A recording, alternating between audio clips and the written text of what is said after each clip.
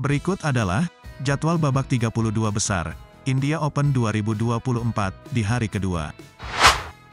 Pertandingan babak 32 besar India Open akan dimulai pada pukul 10.30 waktu Indonesia Barat dan akan disiarkan secara langsung oleh channel YouTube BWF TV.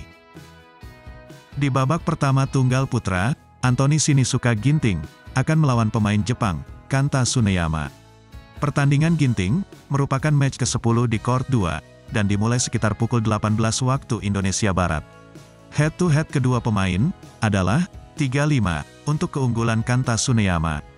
Di pertemuan terakhir mereka, Ginting harus kalah dengan skor 11-21, 21-18, dan 17-21. Sementara itu, Jonathan Christie akan melawan pemain Hong Kong, Engkalong Angus. Pertandingan Jonathan merupakan match ketujuh di court 2 dan dimulai sekitar pukul 15.30 waktu Indonesia Barat. Head-to-head kedua pemain adalah 6-5 untuk keunggulan Jonathan Christie. Di pertemuan terakhir mereka, Jonathan berhasil menang dengan skor 16-21, 21-17, dan 21-17. Di babak pertama ganda putra, Muhammad Sohibul Fikri, Bagas Maulana, akan melawan wakil Denmark, Kim Astrup, Anders Karup Rasmussen.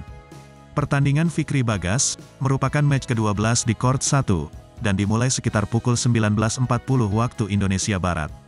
Head-to-head kedua pemain adalah 0-3 untuk keunggulan Kim Astrup, Anders Karup Rasmussen. Namun, di pertemuan terakhir mereka, Fikri Bagas harus kalah dengan skor 17-21 dan 6-21. Di babak pertama ganda campuran, Rehan Naufal Kusharyanto, Lisa Ayu Kusumawati, akan melawan wakil Hong Kong, Tang Chun Man, Se Ying Sweat. Pertandingan Rehan Lisa merupakan match ke-14 di court 3 dan dimulai sekitar pukul 21.10 waktu Indonesia Barat. Head-to-head kedua ganda campuran adalah 0-5 untuk keunggulan ganda campuran Hong Kong. Di pertemuan terakhir mereka, Rehan Lisa harus kalah dengan skor 21-15, 15-21, dan 14-21. Dan Rinov Rivaldi, Pita Haningtyas Mentari, akan melawan wakil Malaysia, Chen Tangji, To Ewei. Pertandingan Rinov Pita merupakan match pertama di court 1 dan dimulai pada pukul 10.30 waktu Indonesia Barat. Head-to-head kedua pemain adalah 3-0 untuk keunggulan Rinov Pita.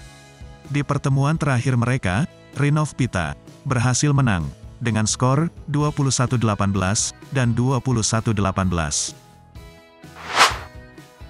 Sementara itu, di hari pertama babak 32 besar India Open, sebanyak dua wakil Indonesia, Gregoria Mariska Tunjung, dan Fajar Alfian, Muhammad Rian Ardianto, berhasil menang dan melaju ke babak 16 besar, sedangkan, dua wakil lainnya, Leo Roli Karnando, Daniel Martin, dan Dejan Ferdinandsyah, Gloria Emanuel Wijaya, harus kalah dari lawan-lawannya.